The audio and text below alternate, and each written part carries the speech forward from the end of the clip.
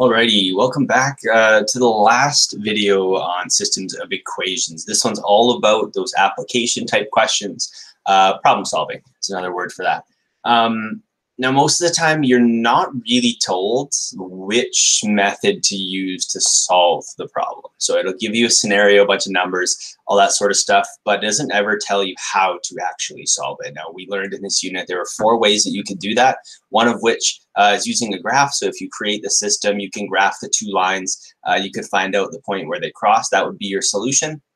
We also you learned uh, how to do things with technology. So you could graph them on your calculator, provided you had such a tool to do that. Um, the other two methods were those algebraic methods of substitution and elimination. Now we're going to focus on those algebraic methods uh, in here, not necessarily uh, graphically, because some of the scenarios um, end up being a little challenging to graph. It's hard to make them exactly right uh, and the, using the right scales and things like that. Sometimes the answers end in decimals. It's not always a good method um, to get that uh, ideal perfect answer. Technology is also not great because not everybody will have access to one of those graphing calculators, so makes that a little bit challenging as well. So we're going to focus on the two algebraic methods. Okay. Uh, so there's four problems in here, I believe. They're all they are all quite different, but the methods to solve them are very much the same. So uh, the first one here says Lisa recently won $10,000 and invested part of it in a GIC, uh, which earns interest. This is just a type of bank account, uh, which earns interest at a rate of 8% per annum, annum meaning year, like annual.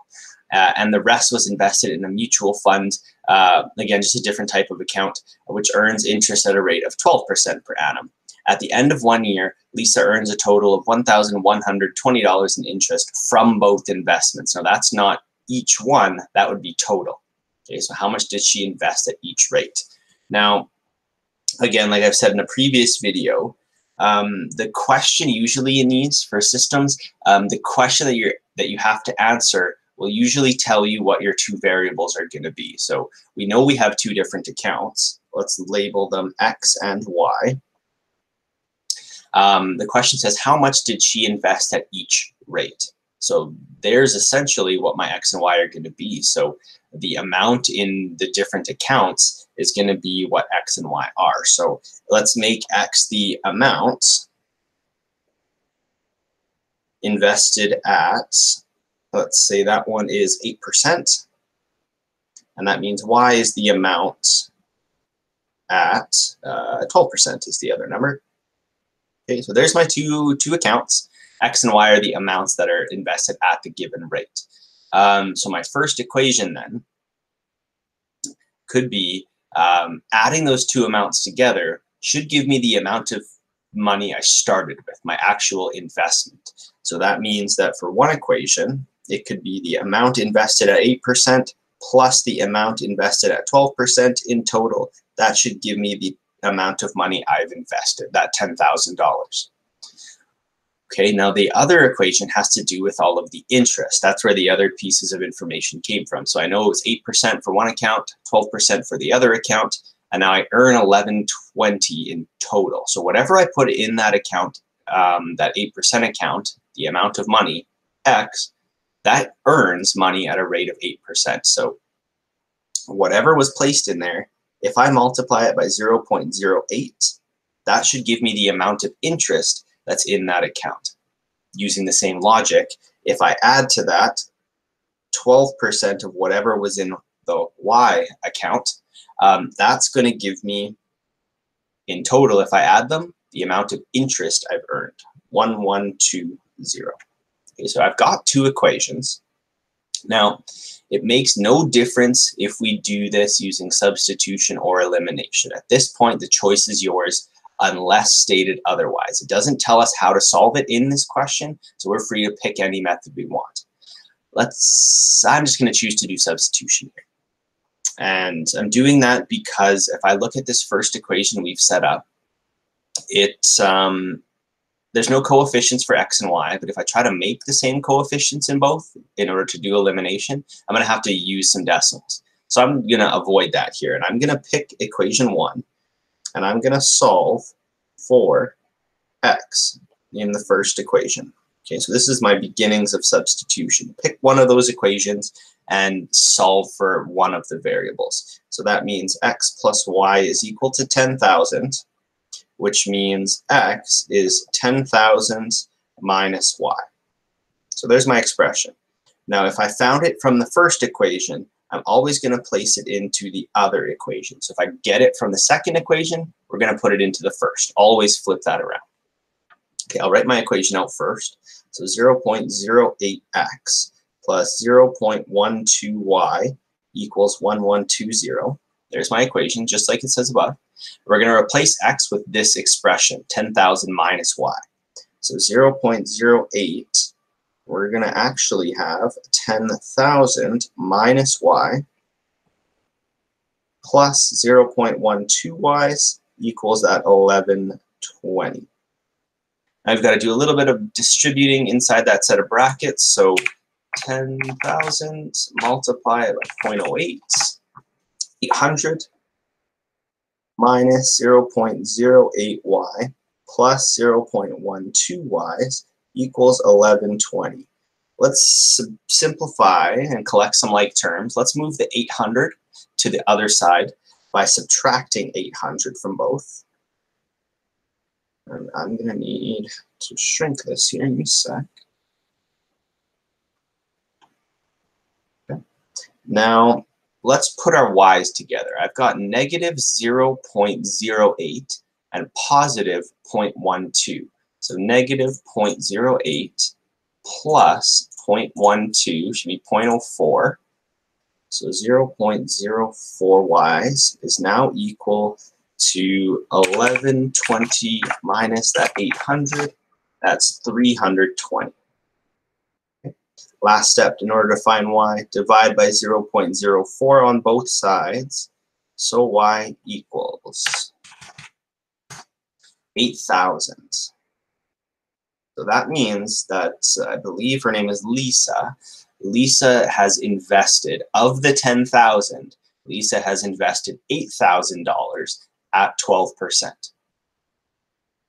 Okay, now that I know that, I, I know she started with $10,000 in total.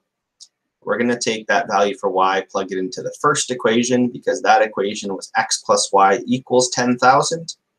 That means x plus 8,000 equals our 10,000. So x is equal to $2,000. Okay. Therefore, Lisa invested 2000 at 8% and $8,000 at 12%. Okay, so by using substitution here, we were actually able to figure out what those two dollar amounts in those accounts would be. Now, it would be the same answer if I used elimination. It would be the same answer if I used uh, a graph, um, provided I had a method to draw them perfectly. If I rearranged both of those equations into slope-intercept form, that y equals mx plus b, you could graph them in your calculator as well, find the intersection point, um, and that would tell you the exact same things that we found um, using those algebraic methods, okay? So we'll tell you, no matter what uh, method you use, it will tell you the same things. Okay, so let's, let's try the second one. Um, during lunch, the cafeteria sold a total of 160 muffins and individual yogurts. That's total again. The price of each muffin is $1.50. Each yogurt container is $2. The cafeteria collected $273.50 in total. Set up and solve a linear system to determine the number of each um, that was sold. So with a scenario that deals with things being sold, you usually have two pieces of information, the amount of physical objects in this scenario and the amount of money. So if I look at this based on the physical number of objects, there was 160 muffins and yogurts total that were sold. So not 160 muffins and 160 yogurts, because that wouldn't make sense. That would just straight up answer the question. Okay, so that 160 is the total of the muffins and the yogurts. We just don't know how many of each it is. It could be one muffin and 159 yogurts, vice versa, or somewhere in between. Now, based on that one statement, we have enough information to define our variable. So let's use m. Uh, I'm going to change the color. let's use M and Y. M is number of muffins.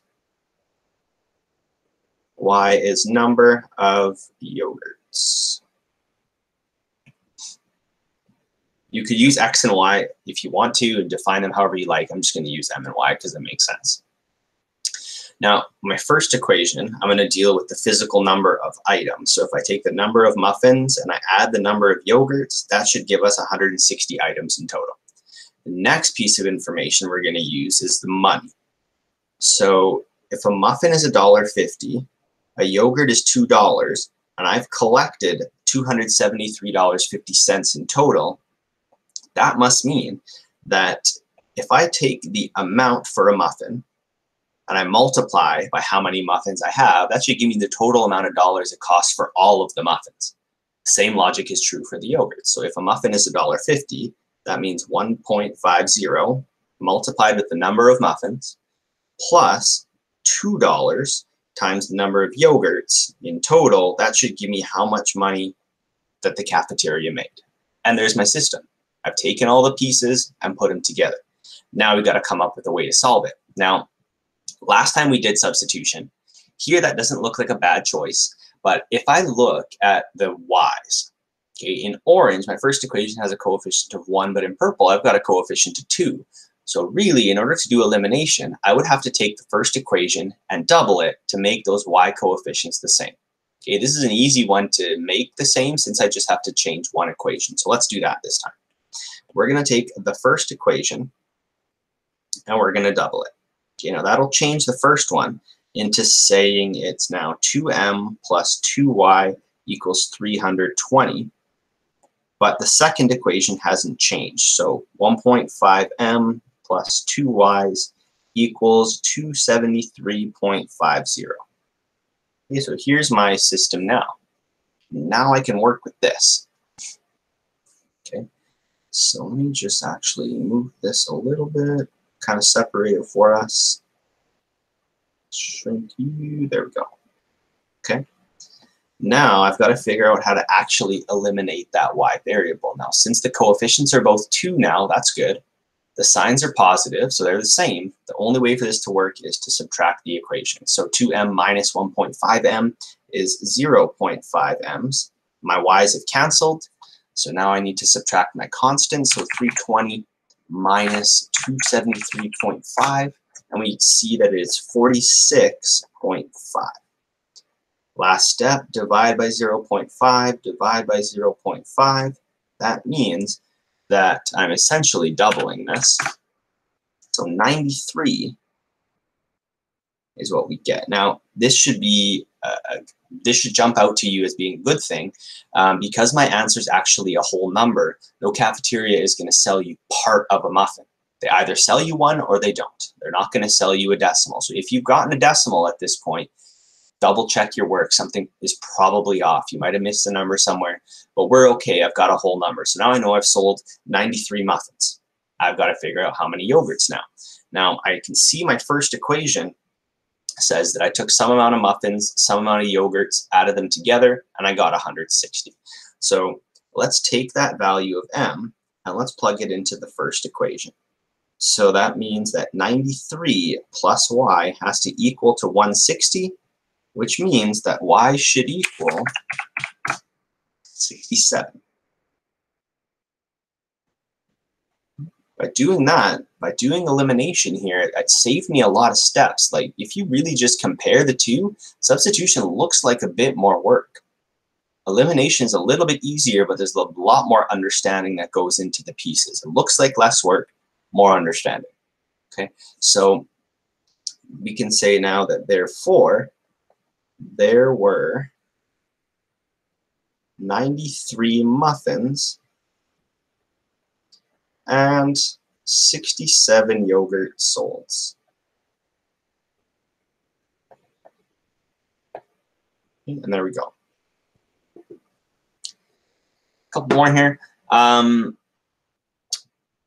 you have a coin collection now that consists of quarters and nickels, so two types of coins. In total, the collection is made up of 49 coins. The total value of the coins is $8.85. How many quarters? How many nickels? Um, very, very common type of question uh, that we see come up.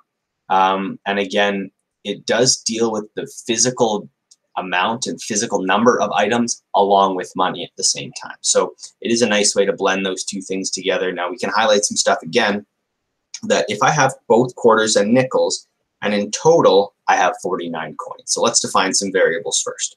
So let's say Q for number of quarters. Now each quarter is worth 0.25 cents, so a quarter of a dollar. So four quarters make up that one loonie. Now let's say that N is going to be the number of nickels. And a nickel is five cents, so in terms of dollars, that's $0.05. Five cents, but $0.05, and that's an important distinction to make here. Now, if I go to write my first equation, if I take the number of quarters and I add to it the number of nickels, I should have 49 coins. Just forgetting about the money, physical number of items tells me I have to have 49. Now, based in terms of money, the total value of the coins is $8.85. So my second equation has to deal with that piece of information. Now, one quarter is worth $0.25. I'm given an amount in dollars. So I need to make sure I write everything in terms of dollars.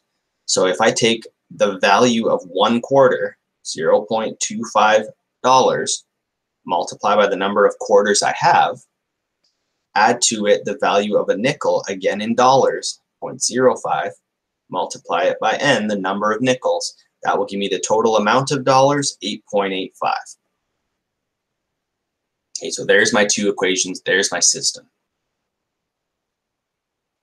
Now again, you can choose substitution, you can choose elimination. It doesn't really make a difference. Maybe this time let's choose elimination. Since we did a substitution with decimals before, let's try to do elimination with decimals. Now it doesn't really matter which variable you pick to get rid of, either the q or the n, doesn't make a difference whatsoever. Um, let's do uh, let's do n this time. So we're going to try to make the n coefficients the same, which means I have to take the first equation, and we need to multiply it everything by 0.05. Okay, so that's going to change everything. So the first equation will become 0.05q plus 0.05n equals 49 times 0.05, 2.45. My second equation didn't change. So 0.25q plus 0.05n equals 8.85. Now we've got to do our actual eliminating and we're going to look at right at those n's. So the variables are both n, the coefficients are both 0.05, the signs are both positive. Since they are the same, we are going to subtract one equation from the other. So 0.05 minus 0.25, negative 0.2 q's. N's are gone. 2.45 minus 8.85, negative 6.4. Don't worry too much about the negatives. Uh, they will cancel out when we do our division. So let's divide by negative 0.2. That means that Q will equal, so divide by negative 0.2, 32. And again, it's helpful to analyze that answer. I've got 32 for Q. And we said that Q had to be the number of quarters. I cannot have a decimal answer here because I can't have part of a quarter. Okay, it's got to be a whole number, which it is, which is a good thing. So I know there's 32 quarters. I also know in total I have 49 coins. So we're going to do a little bit of a substitution. So Q can go into our first equation now, which says that 32 plus the number of nickels should be equal to 49 which means that n equals 49 minus 32, 17. Okay, so by doing that, now we know that, so therefore, there are 32 quarters. Oops. Oh, what's going on? There are 32 quarters And that means there are 17 nickels. Okay, and there's your solution. Okay, so you can see even by doing elimination with the decimals, the process is really no different. The only thing that changes is that you have to worry about doing uh, arithmetic with decimals instead. Um, but honestly, it's the same. Exact same process how we would have done elimination for something that didn't necessarily have a, a lot of decimals, okay? It's the same, no different. Let's do one more. Uh, last one here. Uh, Colin and Sam, I think that's, yeah, that is the last one. Colin and Sam are off to the movies with some friends. They don't drive, so they have to take the bus. Colin buys five admission tickets uh, and three bus tickets and pays $65. Sam buys two admissions and one bus ticket and he pays $25. We're asked to determine the price of each ticket. And again, you can look at that question where this really tells us what we have to do. And this basically defines what our variable is going to be um, I need the price of each ticket, which means I don't know two things. I don't know how much an admission is, and I don't know how much a bus ticket is. Those are our two things. So let's say that A is an admission ticket, and that'll be price, and B is a bus ticket price. Okay, now we can go make some equations. So on the one hand, uh, there, well, there's one and two. Let's do a little bit of highlighting first. So let's take a look at Colin's situations first. So Colin buys five admissions and three bus tickets. Now in total, that cost Colin $65. It's pretty important. It's a lot of money. So let's go make an equation. I know that we defined A as the admission ticket price. If there's five admission tickets, that means it's A plus A plus A plus A plus A. I think that's five. Either way, you could just do five multiplied with the number of tickets that he bought. So as long as I know the price of one, I could find the price of five of them. Three bus tickets, that's the same logic. B plus B plus B. So if I add to this three times the price of one ticket in total, that should give me $65. There's one of my equations. If I do this again uh, for Sam, two admissions tickets, oops, uh, two admissions tickets, and one bus ticket, that costs $25. So two admission tickets plus one bus ticket equals $25. And I've got my system. Now it's just up to us to figure out the best way to solve. Now, looking at them, none of the coefficients on those variables are the same, but I could make them the same. Um, I could do substitution as well. I feel like we've done a lot of elimination here. We did two already. Uh, let's do a substitution example then. So we're going to look at equation two. And the reason why I'm choosing that one, um, it's the one that has a variable that doesn't have a coefficient. Okay, that's going to make our life a whole lot easier when we go to solve uh, because I won't have to worry about introducing a fraction. So let's go solve equation two for b. Now that's not to say this is the only way you can do substitution substitution. Um, you could absolutely solve for any one of those variables that you want. This is just the path of least resistance, okay, the one that has the least amount of work. So that second equation, just as a reminder, was 2a plus b equals 25. If we're going to solve for b, we're going to subtract two a's from both sides. So b equals to 25 minus 2a. You can write negative 2a plus 25 if you want. Makes no difference. Um, this I find to be a little bit easier to work with because sometimes if you write it the other way, you forget about the negative sign. This is easy to see. Uh, you know, it won't go anywhere. It's sandwiched right in the middle. So there's what B is. Now, since I got that from number two, we need to put it into number one. So B is going to go into the first equation. That first equation, again, was 5A plus 3B equals 65. So 5A plus 3B b was now 25 minus 2a equals to 65. So let's do a little bit of distributing and a little bit of collecting like terms. So 5a, um, 25 times 3 is 75, minus 6a's equals to 65. Now, if I keep my a's on the left side, I've got a positive 5a, a negative 6a, so that's going to leave me with negative a equals. If I subtract 75 from the left side, I need to subtract 75 from the right-hand side as well.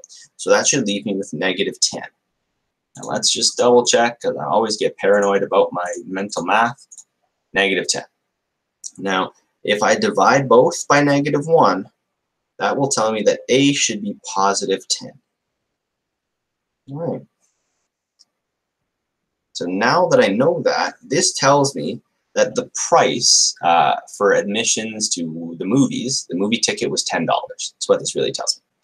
Now I've got to use that information to figure out how much the bus ticket costs. So we're going to plug that into any one of these two equations. Uh, I'm going to pick the second one just because it looks a little bit easier. So we're now going to take A, put it into number 2.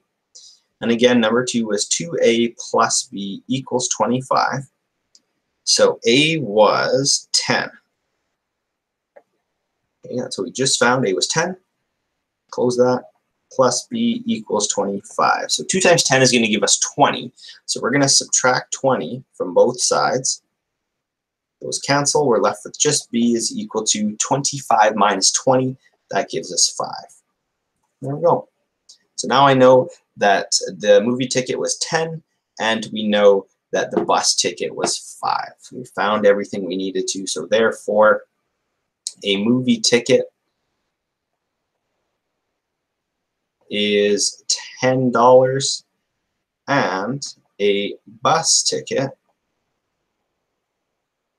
costs $5.